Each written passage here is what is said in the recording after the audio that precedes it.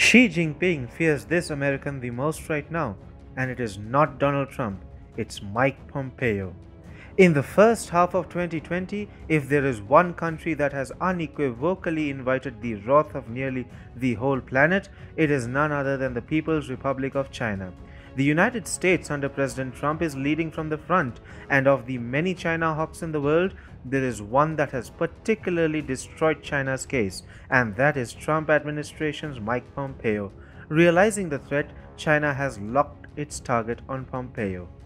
From colluding with the WHO to hiding the severity of the virus to now locking horns with nearly every neighbor, China is treading on thin ice and is receiving one body blow after another by the US.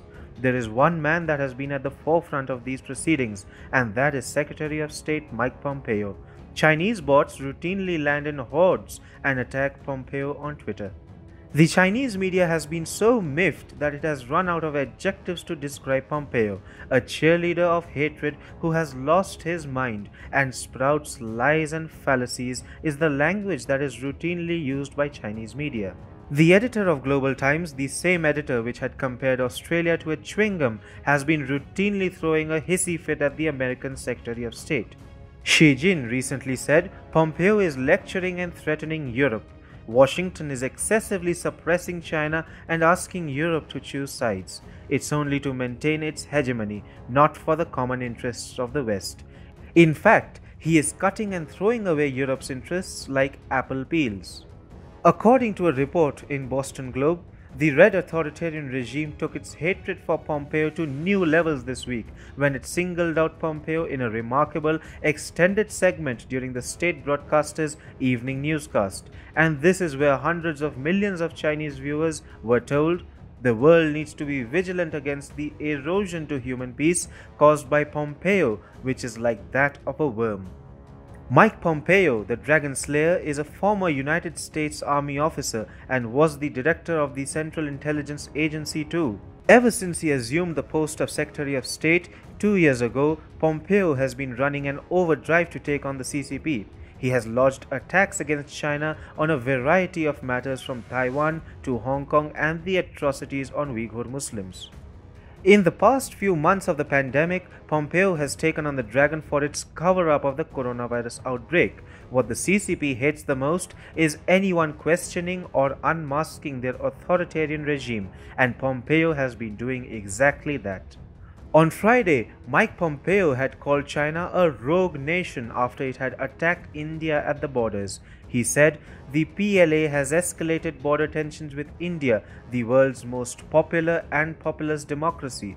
It is militarizing the South China Sea and illegally claiming more territory there, threatening vital sea lanes. Pompeo also singled out Xi Jinping for China's appalling and inhuman treatment of the Uyghur Muslims that have been put in detention camps and subjected to unspeakable acts of torture in the Xinjiang province. Pompeo boldly puts it, Xi Jinping has greenlighted a brutal campaign of repression against Chinese Muslims, a human rights violation on a scale we haven't seen since World War II. Mike Pompeo, in his visit to Vatican City last year, had also said when the state rules absolutely, God becomes an absolute threat to authority. That's why China has put more than 1 million Uyghur Muslims in internment camps and is why it throws Christian pastors in jail. Every day is a China bashing day for Mike Pompeo, and for a good reason. On the 31st anniversary of the horrific Tiananmen Square massacre, the US Secretary of State met with the survivors of the incident, sending a clear message to the CCP. When Beijing suppressed the Tiananmen Square vigil in Hong Kong, he said, It starts so soon. For the first time in 30 years, Hong Kong authorities denied permission to hold the Tiananmen vigil.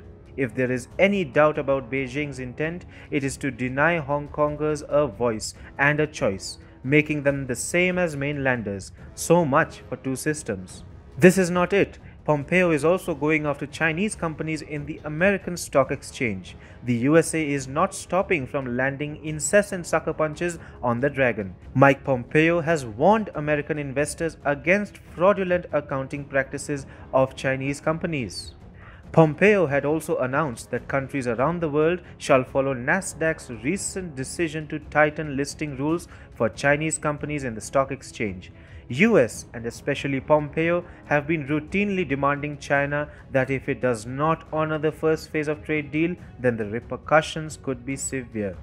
Mike Pompeo also announced in late May that the State Department no longer considered Hong Kong to have significant autonomy under Chinese rule after Beijing introduced the controversial National Security Bill, which is in violation of the Sino Britain Joint Declaration of 1984. The US took away the privileges that Hong Kong enjoyed in trade and from which Chinese businesses benefited immensely. All in all, Mike Pompeo is pressing all of China's weak spots and he seems to be having fun while at it. Meanwhile, Xi Jinping can only use his state media to demonize Pompeo.